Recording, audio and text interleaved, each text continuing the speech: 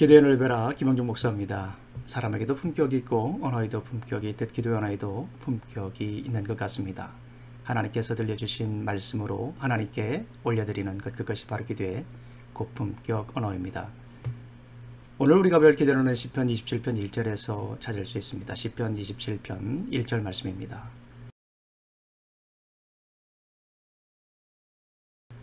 여호와는 나의 빛이요 나의 구원이시니 내가 누구를 두려워하리요 내 생명의 능력이시니 내가 누구를 무서워하리요 다시 한번 읽어드리겠습니다. 여호와는 나의 빛이요 나의 구원이시니 내가 누구를 두려워하리요 여호와는 내 생명의 능력이시니 내가 누구를 무서워하리요 자 오늘은 시편 27편 1절 말씀으로 기도를 올려드릴 텐데요. 나 혹은 내 대신에 우리 성도님들의 성함을 넣으며 기도하시면 되겠습니다. 제가 먼저 기도해 보겠습니다. 여호와는 형중이의 빛이요 형중이의 구원이시니 형중이가 누구를 두려워하리요 여호와는 형중이 생명의 능력이시니 형중이가 누구를 무서워하리요 다시 한 번 더 해보겠습니다 여호와는 형중이의 빛이요 형중이의 구원이시니 형중이가 누구를 두려워하리요 여호와는 형중이 생명의 능력이시니 형중이가 누구를 무서워하리요 자 어렵지 않죠?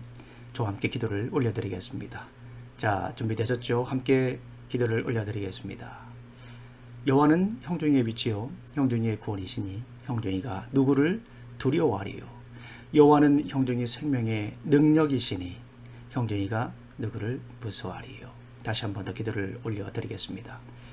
여호와는 형중이의 빛이요 형중이의 구원이시니 형중이가 누구를 두려워하리요 여호와는 형중이 생명의 능력이시니 형중이가 누구를 무서워하리요 짧은 기도입니다. 그러나 능력의 기도가 될 것입니다. 오늘도 이 기도가 이 말씀이 우리의 생각의 각도, 생각의 방향을 결정하시기를 간절히 소망합니다. 오늘도 이 말씀이 우리의 입이 되고 손이 되고 발이 되어서 우리 삶의 진솔한 이야기가 되시기를 간절히 소망합니다. 공포는 인간이 위협을 느낄 때 일어나는 생물학적 반응입니다. 지극히 정상적인 감정이죠. 전문가에 의하면 공포는 위기 상황에 직면했을 때 갖게 되는 적응 과정이라고 합니다. 그리고 공포는 위기 상황이라는 경고 반응이기 때문에 생존을 위해서 꼭 필요한 감정이라고 합니다. 문제는 공포증입니다. 포비아라고 하죠. 상대적으로 위협이 적은 대상에 대한 극심한 공포입니다. 아, 공포가 합리적이지 않다는 것을 알면서도 공포와 맞서지 못하게 되는 것입니다.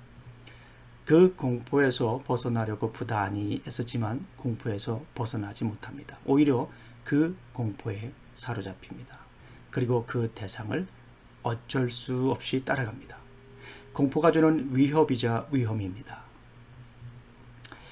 시편 27편을 지은 다윗은 승리를 주시는 하나님을 찬양합니다. 도망자 다윗은 아, 두려움 속에 살았습니다. 날마다 숨 막히는 추격전이었죠. 숨 쉴 수 없이 촘촘히 조여오는 공포였습니다. 하루를 사는 것이 버거웠고 그 끝이 보이지도 않았습니다. 불투명한 미래에 대한 공포와 불안이 늘 친구처럼 따라다녔습니다. 그러나 다윗은 공포를 이길 수 있었습니다.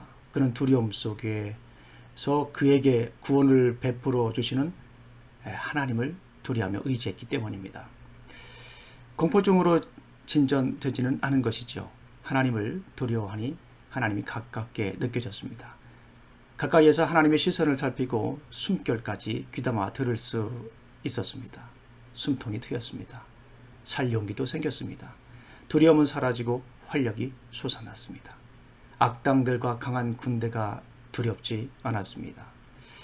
다윗은 주님의 전에서 그렇게 주님을 경외하며 영원히 살고 싶다는 소망이 생겼습니다. 우리 사랑하는 성도님들 무엇을 두려워하나요? 네, 코로나 바이러스의 공포가 가득한 이 시기 마치 코로나 바이러스가 왕관을 쓴 것처럼 보이는 이 시대 여전히 바이러스가 왕노릇하며 협박하고 위협하고 있습니다. 자칫 잘못하면 그 공포에 사로잡혀 어쩔 수 없이 따라갈 수 있습니다. 사람은 두려움의 대상을 따라가기 때문이죠. 그러나 주님을 두려워하십시오. 그리고 주님을 따라가십시오. 우리의 빛이시고 구원이신 주님을 두려워하시고 그를 따라가십시오. 우리의 생명의 능력이시고 영원한 왕이신 주님을 경외하고 따라가십시오. 주님을 경외하고 따라간다면 승리는 우리의 것입니다. 요한일서 5장 4절 말씀입니다. 무릇 하나님께로부터 난 자마다 세상을 이기느니라. 세상을 이기는 승리는 이것이니 우리의 믿음이니라. 아멘. 자, 우리 서두에 배웠던 기도를 다시 한번 더 올려드리겠습니다. 자, 준비되셨죠? 함께 기도하시겠습니다. 여호와는 형중의 위치요 형중의 구원이시니 형중이가 누구를 두려워하리요 여호와는 형중이 생명의 능력이시니 형중이가 누구를 무서워하리요 기도하시겠습니다.